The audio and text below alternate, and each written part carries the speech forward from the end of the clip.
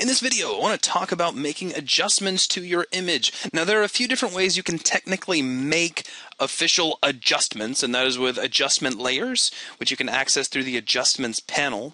Also, you can create uh, adjustments directly on a layer itself in a destructive manner by going under Image, and choosing adjustments. Now, several of the same things are available between this menu and the actual adjustment layers. The primary difference is that a layer is non-destructive. You can add the layer, you can remove the layer and go back to your original image. You can adjust the transparency of an adjustment layer. You can constrain it using a mask. There's all kinds of things you can do with a layer, including change the settings of the adjustment itself so that you can you know, make it more vibrant or less vibrant later on down the road.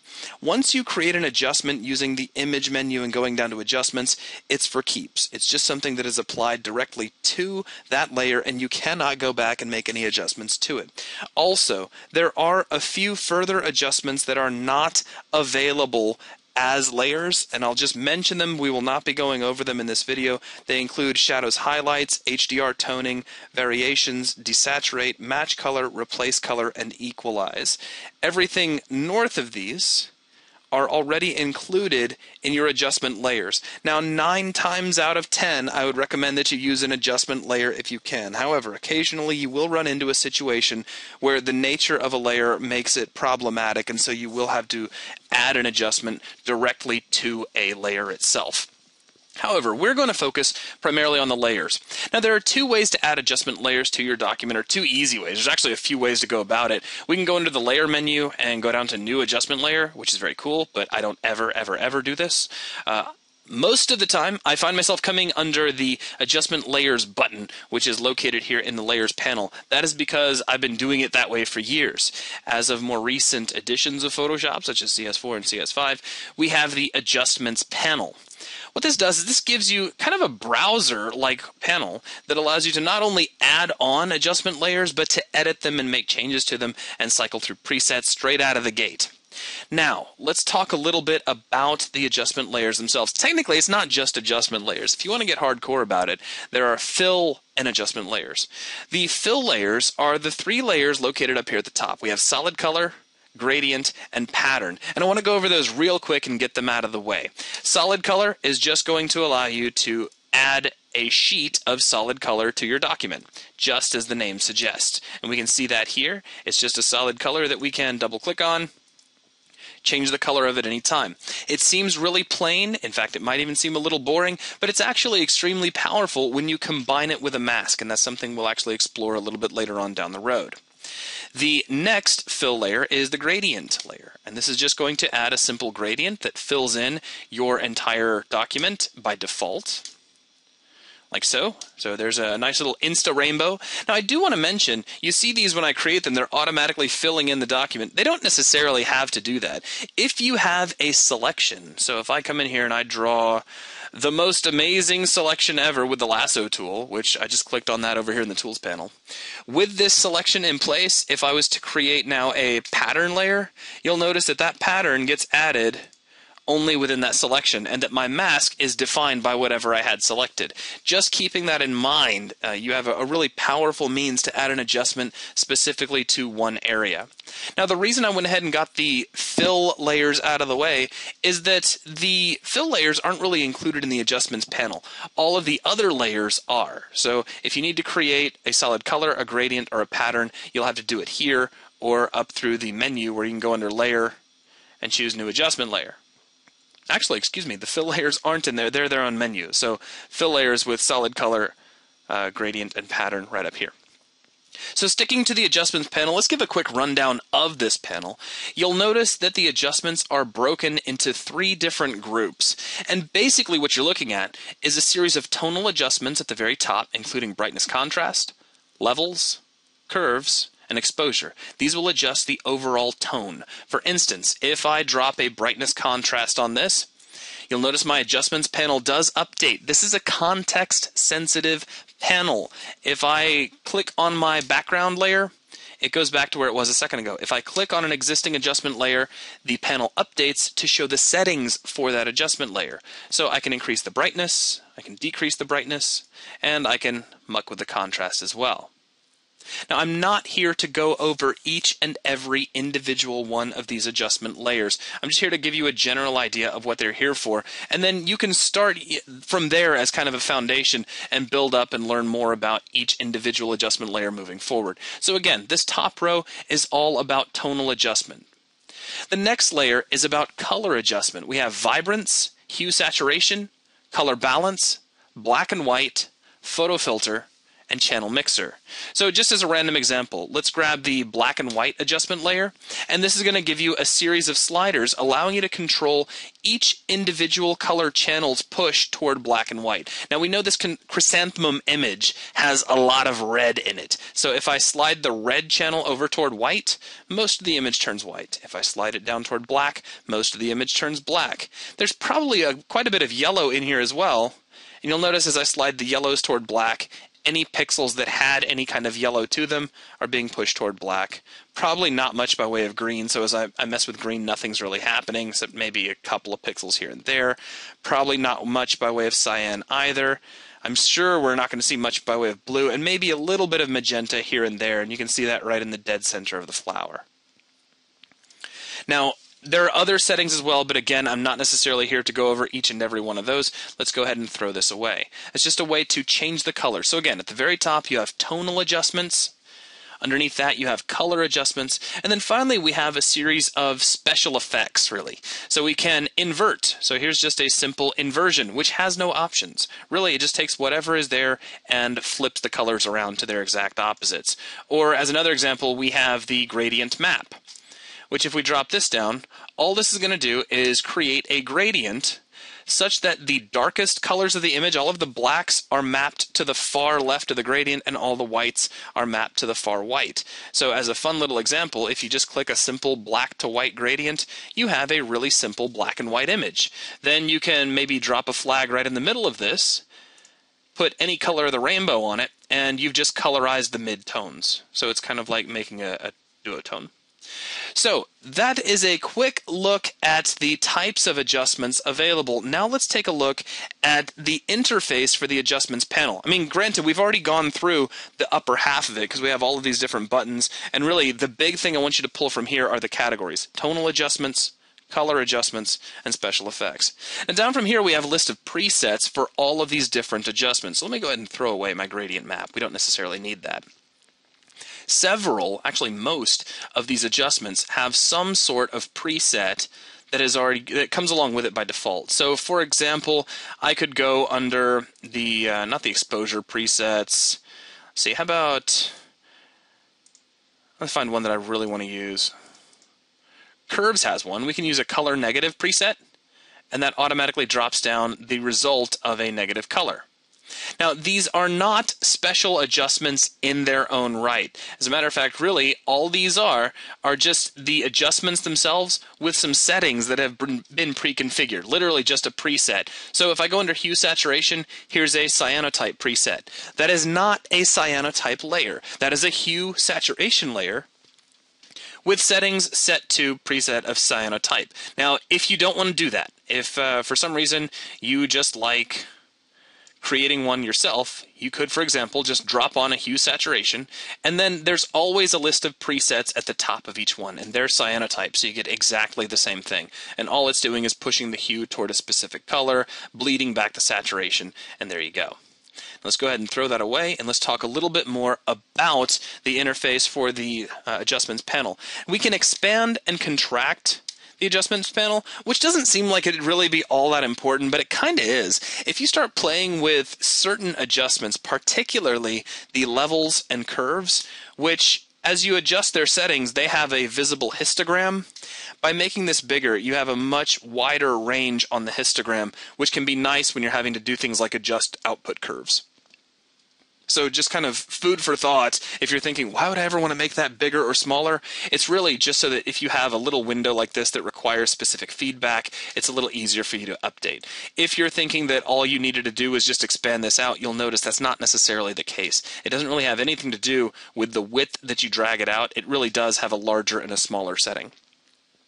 Now, if we back up one, and actually let me jump back into my layers for just a moment, and let me expand this, expand this. Oh, it doesn't want to expand both. That is just one of the things of having so little screen space. If I have my adjustments expanded like that, I cannot also open up my layers. Photoshop gets mad at me and says, no, you have to have one or the other. So I will be keeping things relatively small while I work. Now, the other button we have here at the base level allows us to basically turn any new adjustment layer into a clipping layer. Now, right out of the gate, that's not going to look like anything special. It's going to be pretty tricky to tell what's going on. So to show it off, I'm going to do something a little bit fancy. I'm going to go to File and drop down to Place. And let's bring in our jellyfish.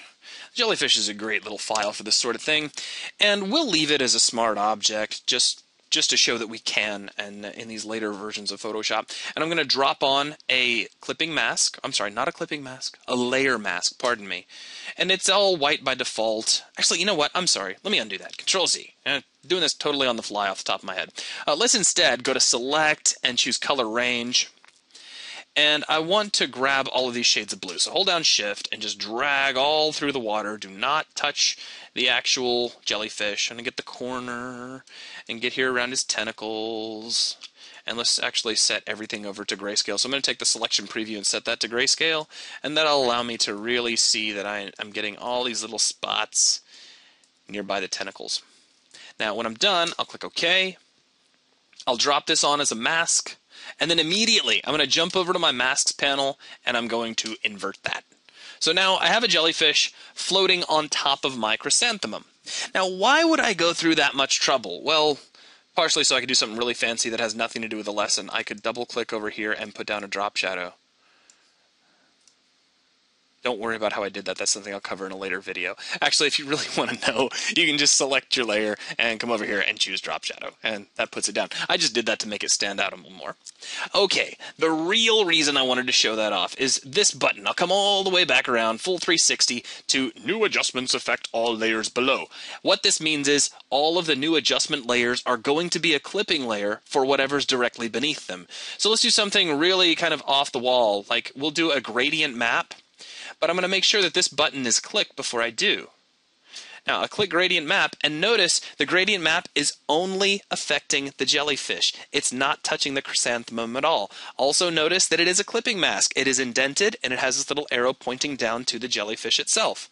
That's why I wanted to go ahead and get the jellyfish in here, so you can see how this adjustment layer is only affecting this one object. So if I come in here and do a standard black and white, and then maybe grab the central color and make it some put your eyes out shade of pink, I now have a pink jellyfish floating over a bright red chrysanthemum with little to no effort. And that is because this gradient map has been constrained to only follow the visibility of my clipping mask, or I'm sorry, my base of the clipping mask being the jellyfish layer. Okay, so let's throw that away and you can see now what that button does. Let's go ahead and switch that off. I'll also just switch off my jellyfish. We don't necessarily need him there anymore. And we can start talking about the interface for the adjustments panel in terms of having an adjustment handy because it does change a little bit. So here's what I'm going to do. I'm going to drop on just something random. It doesn't really matter which one I grab. Let's do uh, posterize. And this just allows you to control the number of colors that are being output. So here's the effect of two colors. Now that doesn't include black, obviously, and it's kind of pushing itself in some of these corners. But I set that to, say, 5. And you get kind of like this old school computer graphic rendition of what it is you're looking at. Now, with this selected, you'll notice the bottom bar of our adjustments panel has completely changed. First off, we have a back button. This uh, says return to adjustment list. This just takes you to the first page. That's how this is kind of like a browser. It allows you to jump into whatever adjustment layer you have selected, as well as back to the home uh, the home view if you need to. And I just call it the home view. It's kind of like the initial page of the adjustment panel. Next, we have this adjustment layer affects all layers below, or click to clip to layer.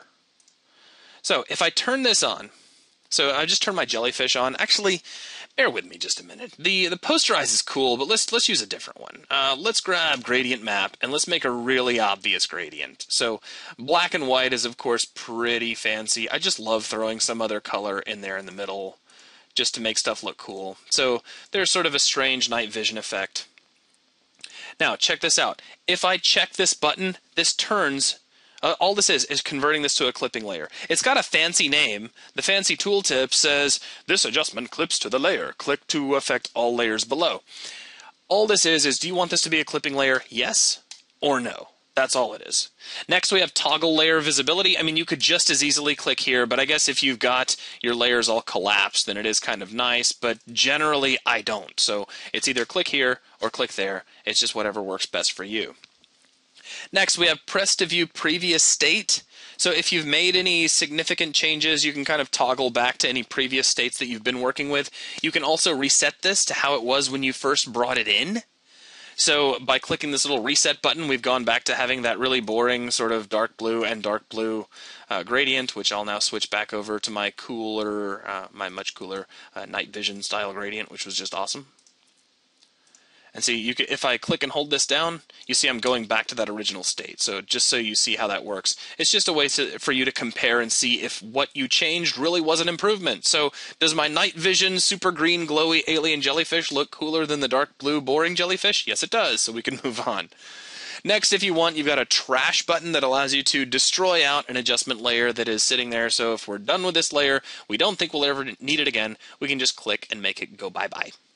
So there's a breakdown of the adjustments panel. I highly recommend you take some time and play with these. Uh, remember that every adjustment layer you bring in, by default, even if you're not using this clipping mask button, is going to come along with all of the power of masking. So uh, let me grab something that's uh, a little bit obvious. I'm just going to fall back on uh, black and white just because it's really easy to see. We had so many colors and now we have practically none.